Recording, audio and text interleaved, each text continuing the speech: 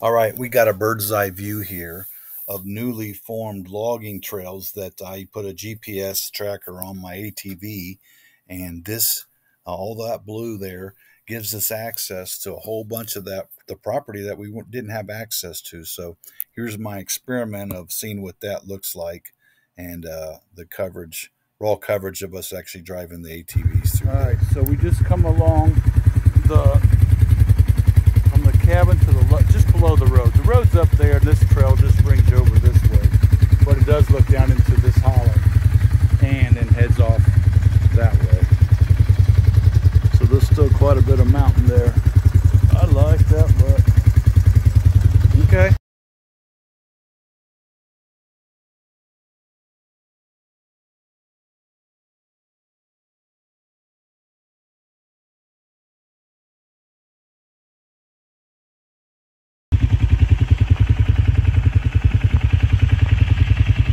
you're always along for the ride. And then Corey's, and who's that? Winnie. Winnie.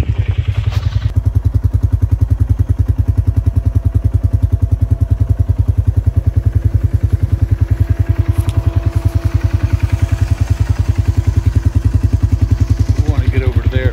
We gonna get on that trail over there. There we go. It's recording.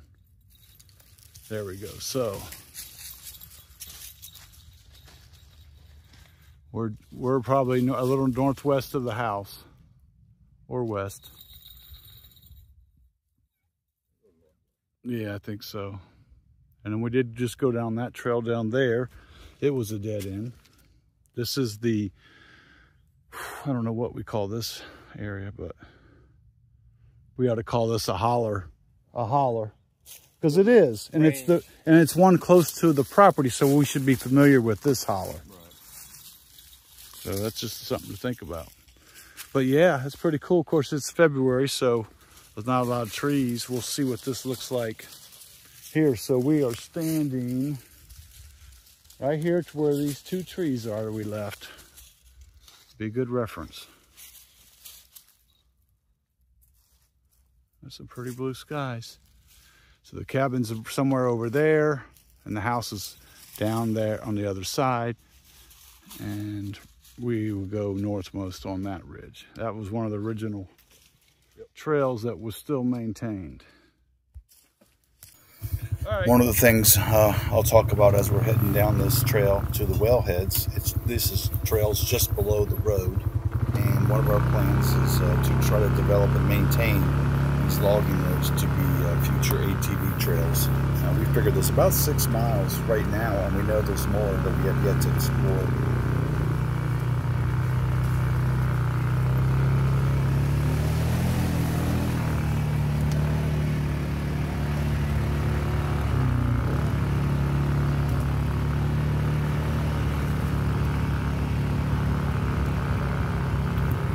This trail here is definitely much more clear and defined.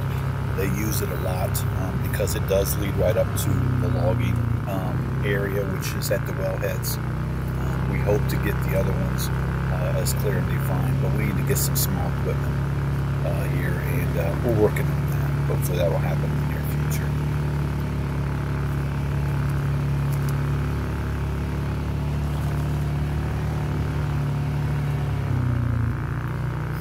As we get to the head of this trail, it meets up near the wellheads uh, where the access road comes in, which is just a stone road. And you can kind of see the processing of the lumber that's still there. And uh, we kind of get to, there's another path where we, it's a dead end because there's still trees there.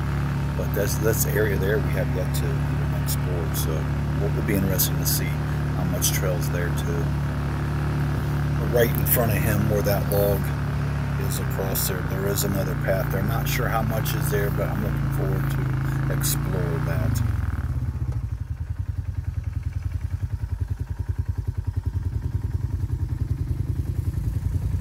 Here he is, going down the hill. There's this was not here the last time, so this has all been cleared out from the tree people cutting it.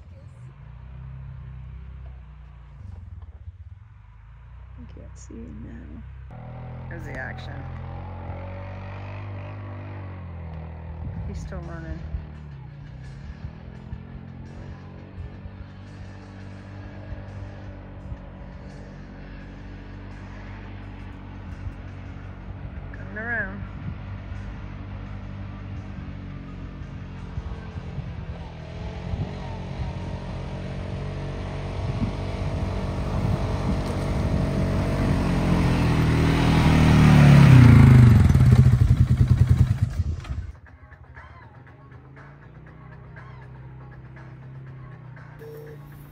Here's another view from the cabin Miss Cheryl's taken for us. There's another little short section of path that's on the east side of the North Ridge. Just on the other side of the North Ridge is the West Holler, which we just named earlier in the video. Another man versus trail.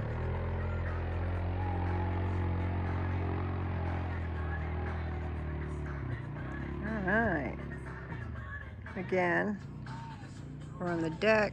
This is out across our view.